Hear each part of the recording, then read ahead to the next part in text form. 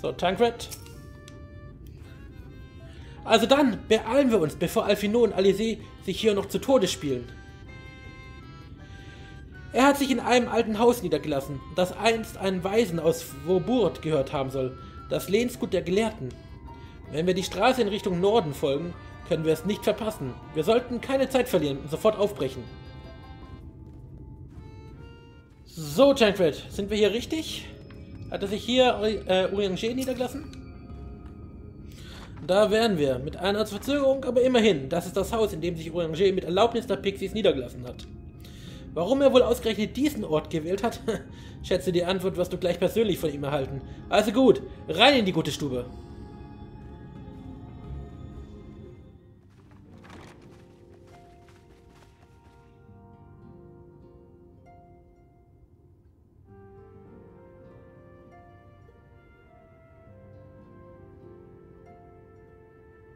Hallo?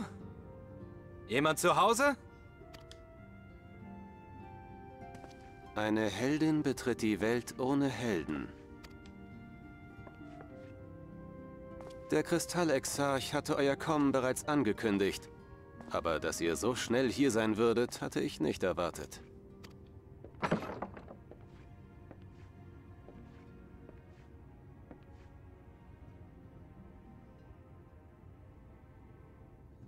Entschuldige, dass ich so lange nichts von mir habe hören lassen. Ich bin erleichtert, dich so gesund und munter zu sehen. Also ich wäre jetzt überrascht, wenn ich den Trailer nicht gesehen hätte, dass er jetzt ein Astrologe ist, aber ja, der Tra Trailer hat halt ein bisschen zu viel gespoilert an der Stelle. Du gehst mal bitte kurz nach draußen. Aber Ich möchte, dass du meine Erde auflädst. Wärst du so lieb?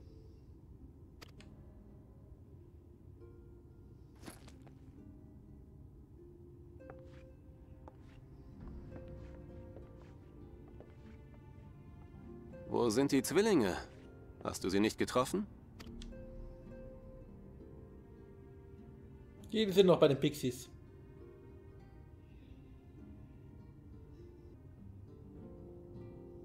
Verstehe.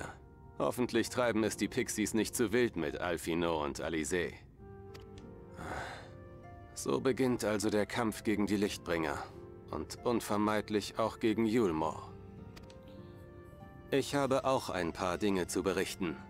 Ernste Dinge. Im Riss zwischen den Dimensionen erhaschte ich einen Blick auf die achte Katastrophe. Es geschah, als der Kristallexarch mich hierher rief. Im Riss wirft die Zeit selbst Falten und gewährt Sicht auf Dinge, die noch nicht geschehen sind. Ich sah die Allianz gegen das Galeische Kaiserreich kämpfen. Der Bund stand an der Seite der verbündeten Heere. Wir kämpften verbissen und gewannen langsam, aber sicher die Oberhand. Doch dann griffen die Galea zu ihrer schrecklichsten Waffe der schwarzen Rose. Was danach geschah, hatten selbst die Galeaner nicht vorhergesehen. Das freigesetzte Giftgas hatte eine verheerende Wirkung. Es verbreitete sich nicht nur in Eorsea, sondern fraß sich auch in die galeischen Gebiete. Soldaten und Abenteurer auf dem Schlachtfeld. Familien in ihren Häusern. Als die Zahl der Todesopfer stieg und stieg, verfiel die Welt mehr und mehr in Elend und Chaos. Der Tod, den die schwarze Rose brachte, legte sich schließlich wie ein düsterer Schleier über die gesamte Welt. Es gab kein Entkommen. Wer nicht getötet wurde, wurde selbst zum Mörder. Es war ein Elend, das alle ergriff und das niemand gewollt hatte. Einmal entfesselt war die schwarze Rose der Funke, der die ausgedörrte Steppe in Brand steckte. Im Nu wurde die Welt von den Flammen des Krieges verschlungen. Regierungen und Staaten zerfielen zu Staub und mit ihnen jegliche Ordnung. Die Mutigen und Rechtschaffenen kämpften bis zu allerletzt.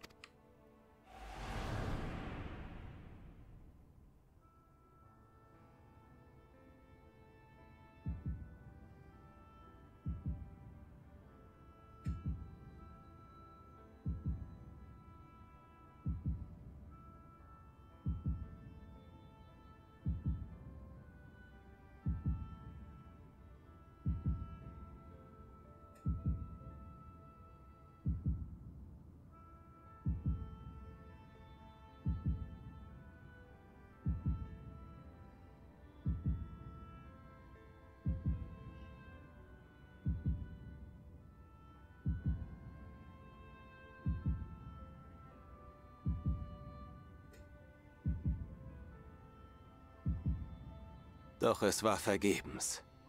Alles wurde von der Waffe des Todes dahingerafft. Selbst du.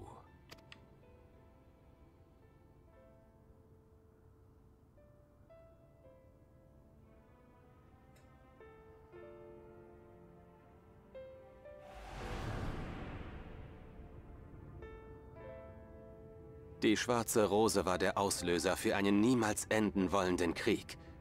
Das ist die achte Katastrophe, die ich sah.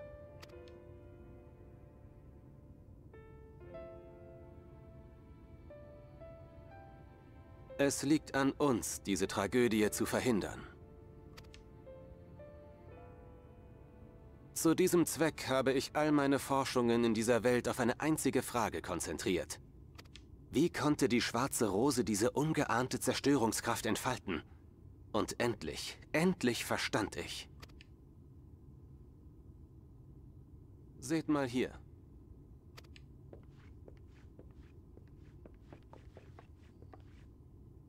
Weißt du, was das ist? Hm, Nicht wirklich. Ah, doch ein Diagramm der Elemente.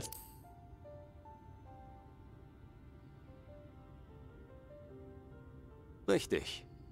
Dieses Diagramm zeigt die Beziehungen zwischen den sechs Elementen. Jeder Ätherforscher und Magiegelehrte in der Ursprungswelt hat sie verinnerlicht. Wie man sieht, wird unsere Welt nicht nur aus sechs Elementen geformt, sie hat auch zwei Pole. Der Pol des Lichts, der für die Bewegung steht, und der Pol des Schattens, der den Stillstand symbolisiert. Da die erste Splitterwelt aus demselben Urgestirn entstand, muss ihr Gefüge dem unserer Welt gleichen. Doch bei meinen Forschungen fand ich keinen Hinweis auf eine Erwähnung der Pole. Also fragte ich mich, in welcher Gestalt diese zwei Kräfte hier wohl in Erscheinung treten. Und dann offenbarte sich mir alles. Die Kraft des Lichtpols manifestiert sich in Wachstum und Bewegung. Wachstum führt zu Enge, Bewegung zu Überlagerung. Und so wie alle Farben überlagert schwarz ergeben, bezeichnet man diese Kraft hier eben als Dunkelheit. Die Macht des Schattenpols offenbart sich in Stille, Stasis und Stagnation. Ein Zustand, der auch als ein leeres, von nichts getrübtes Weiß beschrieben werden kann. Daher nennt man ihn hier das Licht. Die Ashians nennen ihre Kraft selbst die Kraft der Dunkelheit. Dann meinen sie das wahrscheinlich in einer alten, ursprünglichen Bedeutung.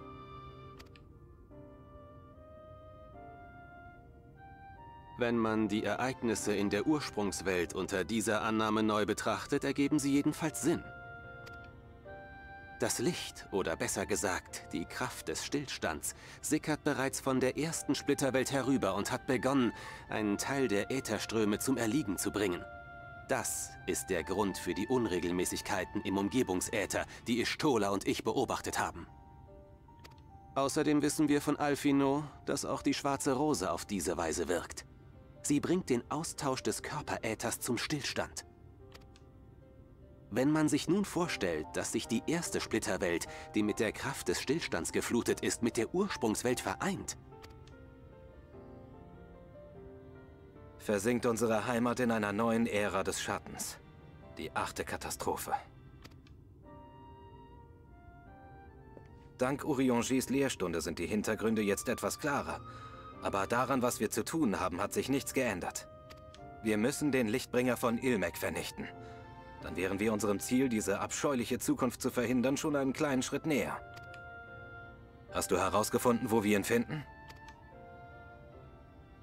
Ja, in der Mitte des Sees steht Schloss Leegia. Dort ist der Lichtbringer eingesperrt. Die Pixies haben das Schloss mit einem Siegel versehen.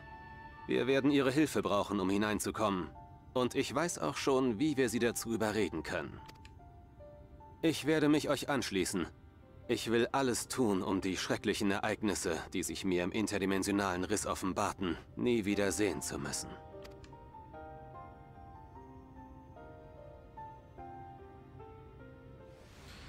So, damit haben wir nun also ein bisschen mehr zu den Hintergründen äh, bekommen, die dazu führen, dass die achte Katastrophe eintritt oder beziehungsweise wie wir es da verhindern können.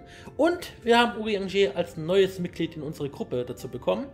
Äh, und Urianger hat auch gleich die nächste Quest für uns, ein besonderes Geschenk.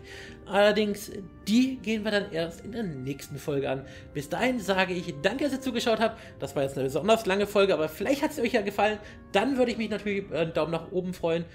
Und äh, wenn ihr die nächste Folge nicht verpassen wollt, dann auf den Abo-Button drücken, wer das noch nicht getan hat. Und das Glöckchen läuten, damit ihr benachrichtigt werdet, wenn die nächste Folge kommt. So, ich sage danke und wir sehen, hören und spielen uns dann. Bis zum nächsten Mal. Macht's gut und ciao, ciao.